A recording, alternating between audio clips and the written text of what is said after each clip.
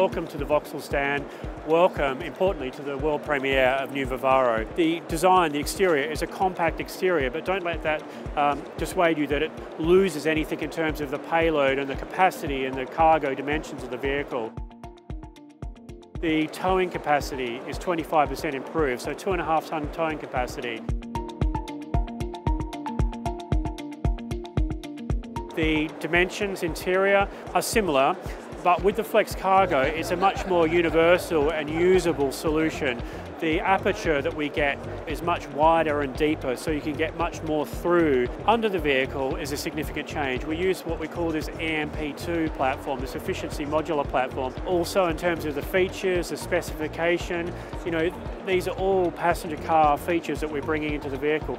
Safety systems, advanced safety systems that you get in a car, you know, we can now offer in New Vivaro. And one of the big changes that we've seen in van drivers, the vehicle that they have on their driveway, they have an expectation that that should be the same in terms of the specification and the safety as the van. In terms of the interior, this mobile office environment and this flexibility in the, in the cabin as well.